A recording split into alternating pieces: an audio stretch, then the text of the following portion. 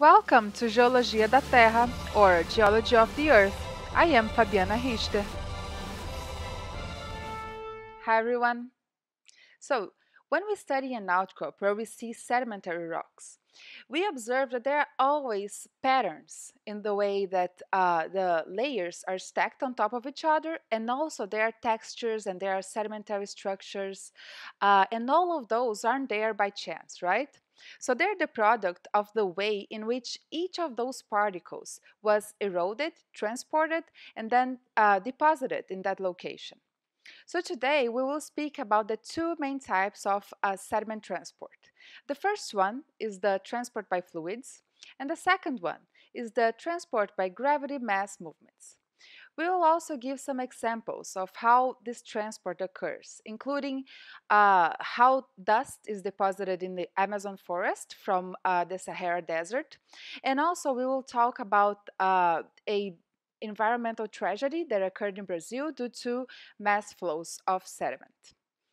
Um, this will be very important for us for when we speak about uh, how fluids behave. And after that, uh, this will be important for, for when we speak about uh, the sedimentary structures. So let's do it. Alright, like we just mentioned, today's episode will be about sediment transport, and we say that this transport can be caused either by fluids or by gravity.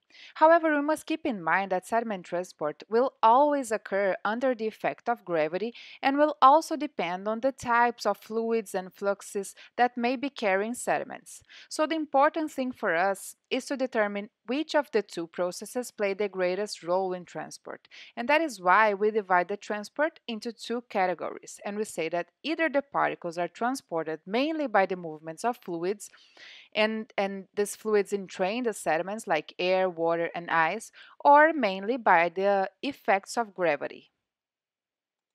Water is the main and most important mean of sediment transport, and transport occurs basically anywhere where water flows, like in rivers, lakes, and in the ocean. This video shows, for instance, the movement of the currents in the Mediterranean Sea with data from NASA. This moving marine water carries a huge volume of sediment within it. And here in this other video, we have an underwater view of water flow in a river in Japan. Water flows can be strong enough to carry both fine-grained uh, material in suspension and also coarse particles at the base of the flow. Thus, they have the potential to carry particles for thousands of kilometers. An extreme example of the magnitude of transport that can be reached is observed in the Amazon River mouth. This river, which flows into the Atlantic Ocean, accounts for 20% of the global total discharge of rivers into the ocean which means a discharge of 120 to 300 million liters of sediment-filled fresh water every second. This generates a sediment-rich plume that has an area of 1.3 million kilometers square and flows mainly northward into the Caribbean region. Air is another important mean of sediment transport, which occurs when wind carries dust or sand over some distance. Because wind transport capacity is limited by air density, the larger the grain size, the smaller the transport capacity of the wind. Winds are responsible, for instance, for the formation of beautiful sand dunes in arid regions. However, such transport can become dangerous when high velocity winds have the power to carry large amounts of sediment and form sand and dust storms. Now, when we consider long-distance transport, dust transport by winds is much more significant because of the small grain size of dust. This video here, made from data obtained from NASA's CALIPSO satellite, shows the impressive 16,000 km transport of dust from the Sahara Desert into the Amazon rainforest. It is estimated that each year 182 million tons of dust leave the Sahara, and 15% of that, or 27.7 million tons, reaches the Amazon basin. This transport is extremely important for the forest because the dust is rich in phosphorus, which is an essential nutrient for plant growth. Ice transport is very significant in polar regions covered by ice caps and in mountains with glaciers. The ice also behaves fluidly but moves much slower when compared to the movements of water and air. But because it has high viscosity, ice has the ability to erode, incorporate, and transport large amounts of clastic sediments from the bedrock on top of which they are moving. Alright, so far we've talked about the cases in which sediments are carried by fluids. Now let's move on and talk about the second way sediments are transported, which is by gravity mass movements.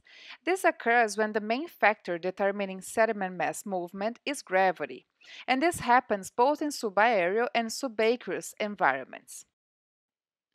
In fact, there is a spectrum of mass sediment transport by gravity, which includes three main groups, rockfall, slides, and sediment gravity flow.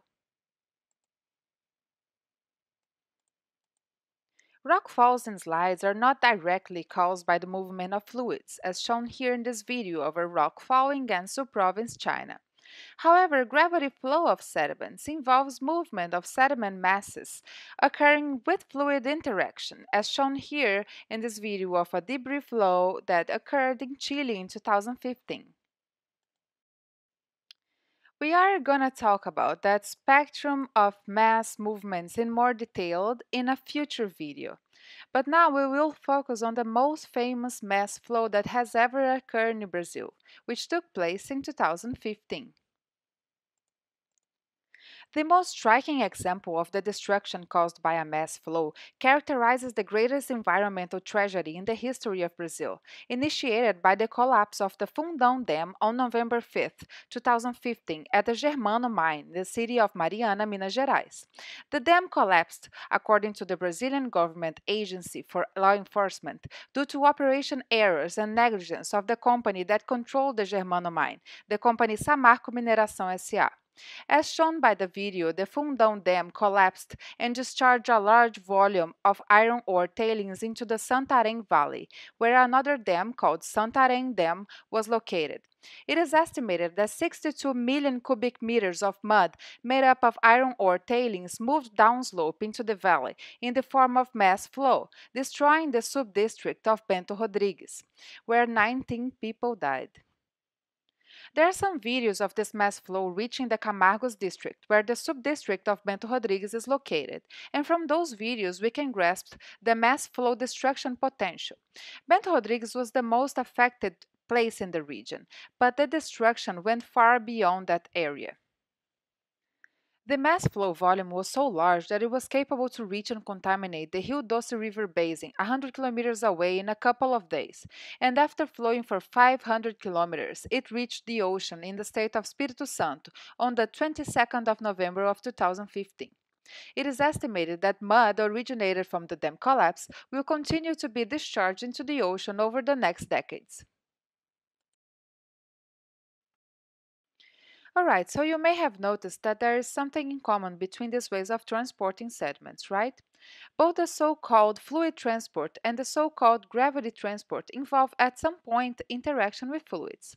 Therefore, in order to really understand how this transport works and at which point the particles stop being transported and end up being deposited, forming what we observe in outcrops, we must first understand the behavior of the fluids. And this is going to be the subject of our next video, which by the way brings us to the end of this video today. So today we spoke about sediment transport and the types of transport by fluids and by gravity. Thanks for joining us. Leave your like and comments below. And if you enjoyed watching this video, subscribe to the channel.